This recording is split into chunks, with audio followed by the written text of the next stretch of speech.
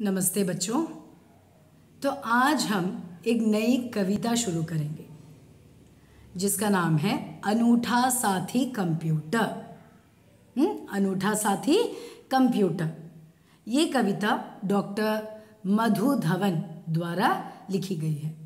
हाँ ये बहुत ही रोमांचक कविता है बच्चों। It's really interesting very interesting poem हाँ the poet considers the computers as a unique companion.